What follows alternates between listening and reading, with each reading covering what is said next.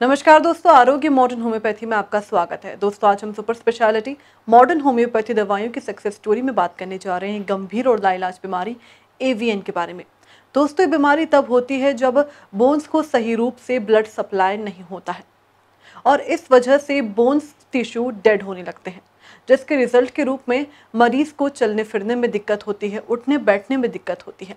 और अधिकतर ये देखा जाता है कि ये पेन हिप से लेकर लेग तक होता है। जिसके लिए मॉडर्न मेडिकल साइंस में कोई पुख्ता इलाज नहीं है, बल्कि शुरुआती स्टेज पर पेन किलर्स दी जाती है, वहीं सीवियर स्टेज पर हिप्स ट्रांसप्लांट की सलाह दी जाती है।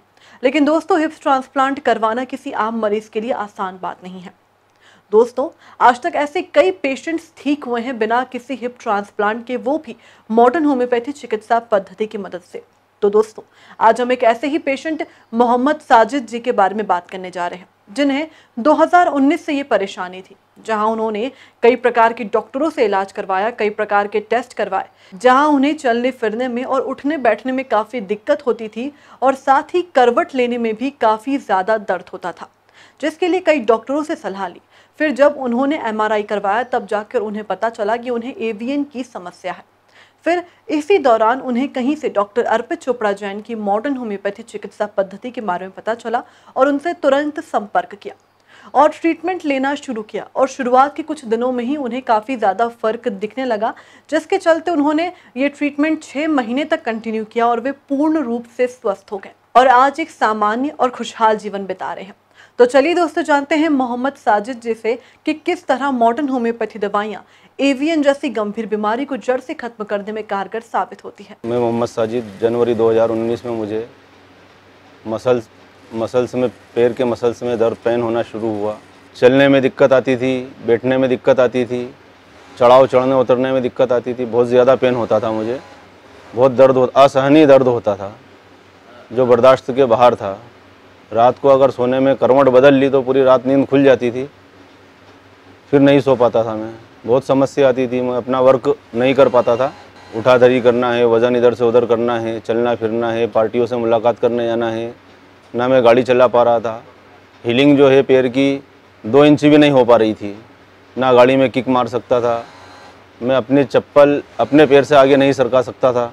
दो साल तक भुगता मैंने जी। मैंने कई डॉक्टरों को बताया। Pain killer medicine antibiotic multivitamin देने के बाद मुझे कोई फ़र्क नहीं पड़ा। फिर जून 2020 में ज़्यादा दर्द होने लगा। फिर डॉक्टर को बताया, उन्होंने एमआरआई सजेस्ट की।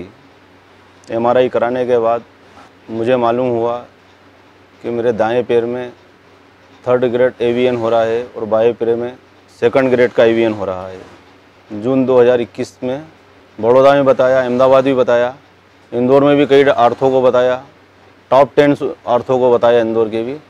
सभी का कहना यह था कि हिप जॉइंट रिप्लेसमेंट करना पड़ेगा। इसके अलावा कोई चारा नहीं है। मैं काफ़ी मायूस और नाउम्मीद हो चुका था। तभी मुझे डॉक्टर अर्पित चोपड़ा जैन साहब के बारे में जानकारी मिली। उनसे कांटेक्ट किया। उन्होंने हिम्मत दी और कहा कि अपन इसको रिकवरी कर लेंगे। थोड़ा समय लगेगा। अब विश्वास तो करना पड़ेगा। नहीं करेंगे तो हिप रिप्लेसमेंट पे जाना ही था। किसी पे तो विश्वास करना ही था अपनों को। तो डॉक्टर अर्पित चोपड़ा पर विश्वास करके उनसे मेडिसिन शुरू की मैंने जून 2021 में। आराम तो शुरू दस दिन से ही महसूस होने लग गया था। हीलिंग वगैरह बढ़ गई थी लिम्पिंग ख़त्म हो गई थी पेन ख़त्म हो गया था। लगातार छः महीने दवाइयाँ ली एक्सरसाइज की थेरेपी ली, मालिश की। कोई साइड इफ़ेक्ट नहीं था, कोई परहेज़ नहीं था। दिसंबर 2021 में जब एमआरआई की तो उसकी रिपोर्ट रिवर्स आई। जो थर्ड ग्रेड पे था, वो सेकंड पर आ गया और सेकंड वाला फ़र्स्ट पर आ गया। छः महीने के अंदर रिकवरी हो गई। फिजिकली पूरी तरह स्वस्थ हूँ मैं। जो पैर दो इंची भी नहीं उठता था आज वो कम से कम अपन तीन चार फीट ऊँचा कर सकते हैं उसको। हाइट पे ले जा सकते हैं तीन चार फीट की। उसके बाद मैंने कई लोग जो मुझसे जुड़े हुए थे ए वी एन के उनको भी एडवाइस दी कि आप डॉक्टर अर्पित सर से मुलाकात करें उनसे मेडिसिन लें। और कई लड़के ले रहे हैं। जब मेरी एमआरआई की रिपोर्ट रिवर्स आई तो मैंने अपने आर्थों से मुलाकात की, उनको रिपोर्ट बताई।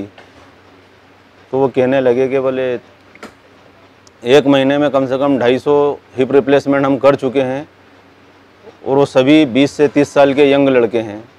लड़के और लड़कियाँ हैं 20 से 30 साल की उम्र के। मैंने सर, जब इसका इलाज है तो आप हिप रिप्लेसमेंट क्यों करते हैं? तो उनका कहना था, हम तो सर्जन हैं, हमारा काम ही हिप रिप्लेस ऑपरेशन करना है। बोले, आपको इसका इलाज मिला है, अच्छी बात है, आप करो। मॉडर्न होम्योपैथी सस्ती रही, प्लस इसको अपनों को इंस्टॉलमेंट में पैसा देना पड़ा हिप रिप्लेसमेंट में जाते, ढाई तीन लाख रुपए एक मुश्त जमा करना पड़ते। लेकिन मेन मकसद अपना ओरिजिनल बचाने का था। ओरिजिनल को बचाने का था। हिप रिप्लेसमेंट से कोई परेशानी नहीं थी, लेकिन फिर उसकी भी लाइफ कितनी होती है, पाँच साल या दस साल, उसके बाद फिर मुझे हिप रिप्लेसमेंट करवाना पड़ता। तो ओरिजिनल को बचा के रखेंगे तो लाइफ टाइम चलेगा ना। पैसा भी बच गया, दोनों चीज़ें बच गई हैं। मैं डॉक्टर साहब का शुक्रगुजार हूँ, उनके उज्ज्वल भविष्य की कामना करता हूँ।